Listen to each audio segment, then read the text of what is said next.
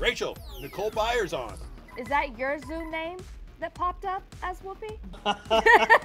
it's a joke. It's it's a joke that uh, I just refuse to change. Yeah, people respond to me faster. I get let into the Zoom room a little faster. That is literally the best thing I've heard. Please change mine to Beyonce. Nicole Byer, you can just call her Nicole Busy. You have the new season of Nailed It. You're the new co-host of Wipeout, a role on The Unicorn, a voice on The Pole on Syfy, podcast, stand-up, and I just read that you'll be doing the new Rugrats series. Hello, Nicole. Congratulations. Ma'am, how do you even fit all this on your schedule? I like what I do, so like I like being busy.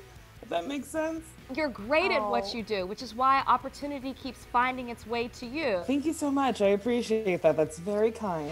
One of those opportunities, co-hosting the new Wipeout on TBS. Were you a fan of the show before? Um, yes. It's just like fun to watch people fall down. It's very silly. You're also doing the show with John Cena. Have you met him before? What's that chemistry like there? I had never met him before we started working together. He's honestly so charming, so nice, so kind. I couldn't be happier to work with this person. Like he's so professional and so funny. Funny also describes her Netflix baking competition show.